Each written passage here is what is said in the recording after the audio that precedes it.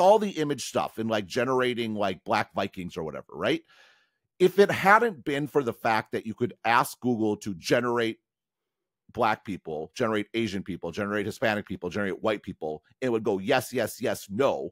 Like that was the issue. It was just so blatant, right? And, and right. to not acknowledge that specific blatantness, it's just like, just can we get a shred of honesty here? And if you, you know, John Gruber said this on Dithering, I thought it was exactly right.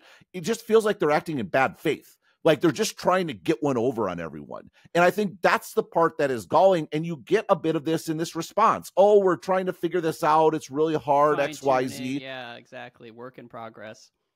Now, number one, just on what we know, that doesn't feel like that's what's happening. It's not that some people are are, are unfairly mad at Google. Like there was decisions made here. That's Number two, it feels like there were affirmative choices made along the way that informed the product that we all saw last yeah. week. Number two, from what I've heard, and again, take this with a grain of salt, but I actually arguably gave too much credit to Google in the last episode where I was talking about the RLHF process and how people are answering answers and questions.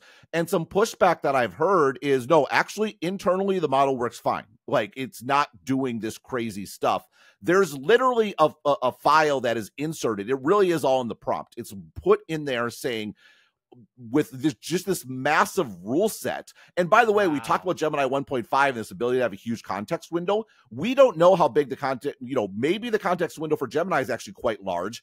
And if you have a huge context window, you can it's you can insert a massive prompt that is like, or you maybe it's not even in the prompt. Maybe it's like it's it's a level up, so it's not quite seen. I mean, who knows exactly how it's working?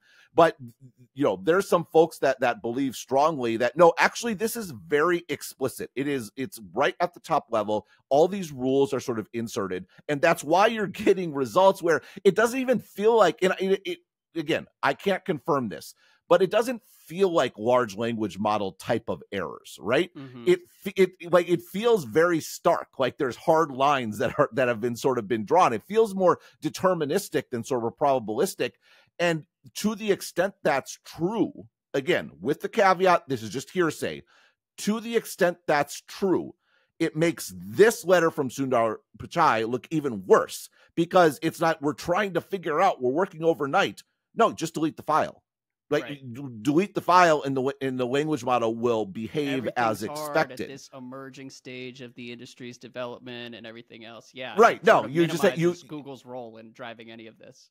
Right. You have this aspect of Google, you know, there's a drastic difference between the model that runs internally and one that runs externally. Okay, what happened there? Like what's what's in the middle there? And you know, now I'm sure there's they're all staying up very late and there's a lot of work going on but is that work technical work or is that work political work where there's just like a, a knockdown drag out fight over are we going to actually tolerate this, keep this or not? That's what I suspect is going on. And again, with the caveat to the extent this is true, I think that makes I think that makes this letter look look very poor because there's yeah. we're still not getting honesty. And if we're not getting honesty from the CEO about what is happening, then it doesn't sound like we're making any progress in solving the core cultural problems that undergirded this release. Yeah. And if you want to distill that culture, the, the culture problems that I was writing about, this isn't a I mean, I've talked about obviously that the the article I wrote this week was inherently political because we have no choice. It's been made very political, right? But the core issue is Google at the end of the day eh, is a builds products. And yep building the best product was not the number one priority. That at the core for a product company is a cultural problem. Product does not matter most. Politics mattered most. And so I had to be political because they made politics first. So I will take it head on and say, look, my issue is not necessarily with the answers. Let, let's be clear. ChatGPT is pretty progressive, right?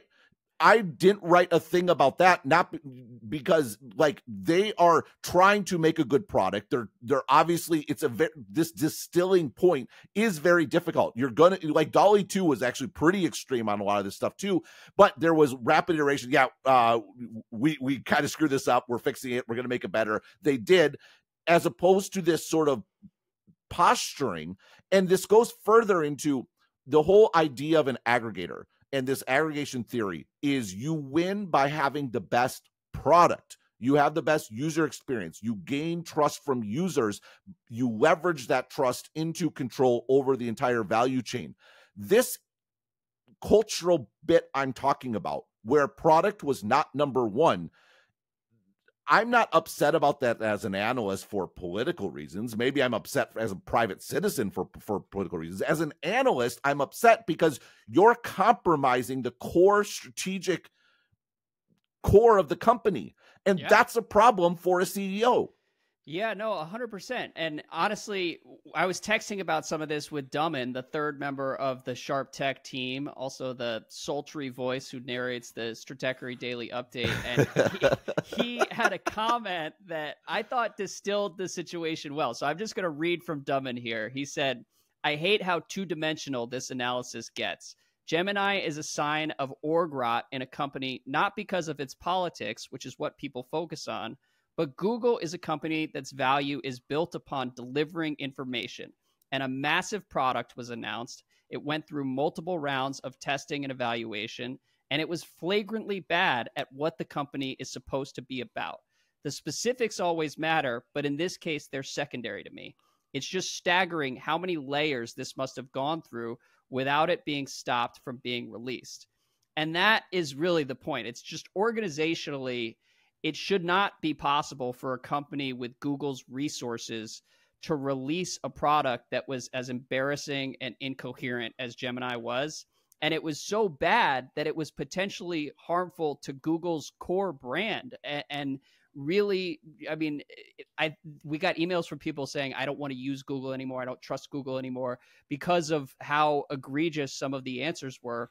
And I think we conveyed a lot of that earlier this week. But the specific problem isn't the politics per se, but the way internal politics seem to have paralyzed Google and its ability to make great products. Well, no, and I just. It, I was I was just gonna say I did not get very much of that from the Pichai letter. It didn't yes. seem like there was any acknowledgement of the deeper issues that this has shown a light on. Yeah, sorry. That's exactly right. Like, like it, it, this is the core. This is the cultural issue, right? I maybe I'm mad that Google is making me write about politics, but that's the point. We should not be writing about politics in the context of a tech product launch for a company whose business model and strategic position is predicated on having the best product. Like it, and if you, uh, if under your leadership as CEO, you have as demonstrated by this very high profile release, ha- have not kept product as the most important determination, but have made politics more important, then you're not the right CEO.